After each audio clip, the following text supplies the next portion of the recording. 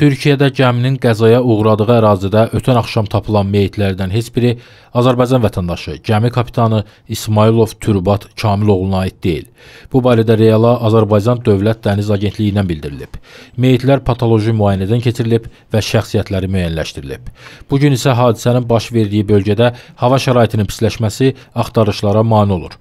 Dövlət Dəniz Agentliyinin Milli Mərkəzi hadisə baş verən andan fasiləsiz olaraq Türkiyənin Samsun şəhərinin Dəniz Axtarış Xilasetmə Mərkəzi ilə əlaqədə işləyir. Sahil Güvenlik Samsun. Alo, salam. Azərbaycandan Dövlət Dəniz Bakanlığından operator Avtandil. Merhaba, merhaba beyefendi. Ə, zəhmət olmasa deyərdiniz, ə, son durumlar nasıldır sizdə? Ge- Volgabalt 214 gəmisi ilə bağlı ə, personel və kapitanla bağlı bilgilərinizi verərdiniz. E, beyefendi bu şu an deniz bölgede 3 metreye yakın dalga olduğundan bizim gemilerimiz gidemedi mevkiye. Aha. Yani şu an deniz durumundan dolayı, olumsuz hava şartlarından dolayı bir arama kurtarma faaliyeti icra edilemiyor. Peki söyler misiniz helikopterler ə, bağlı ə, işlemleriniz devam ediyor mu? Yok, havadan da yok şu an.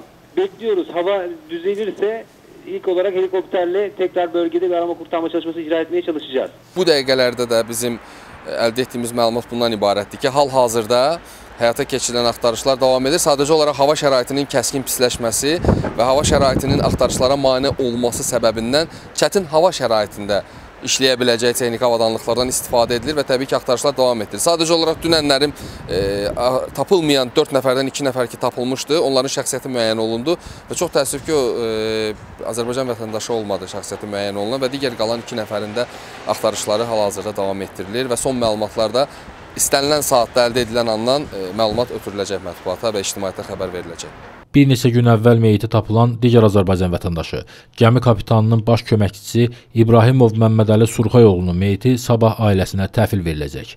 Bu barədə Reala onun yaxınları məlumat veriblər. Məmmədəli İbrahimov Neftçala rayonunun Bankə qəsəbəsində torpağa tapşırılacaq. Qeyd edək ki, Türkiyənin Samsun vilayəti sahillərində batmış yük gəmisinin heyət üzvlərindən 2 nəfəri Azərbaycan vətəndaşıdır. Gəmidə həmçinin 9 Ukrayna, 2 Rusiya vətəndaşı olub.